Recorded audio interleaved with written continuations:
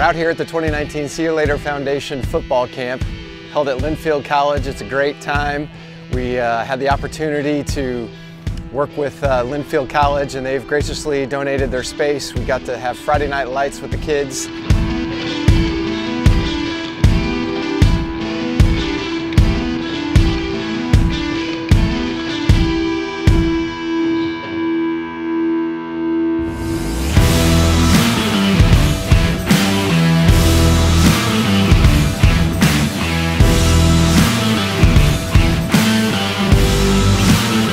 Also really grateful to MVP Performance Training. Frank Baumholtz and Sean Burke are out here teaching the kids, uh, giving them fitness instruction and different levels of, of, nutrition thought. And they're just a great addition to the team and uh, help make a difference for the kids.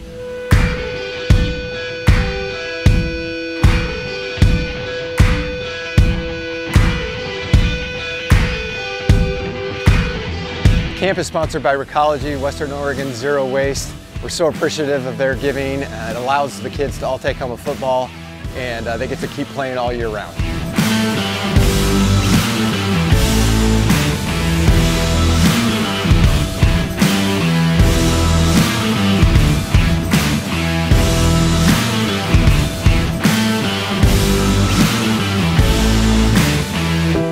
Kids are running through four different stations to learn the different drills and the different techniques of football. And uh, each, each station is run by somebody who's been a, a coach before and allows them to uh, uh, learn the proper techniques.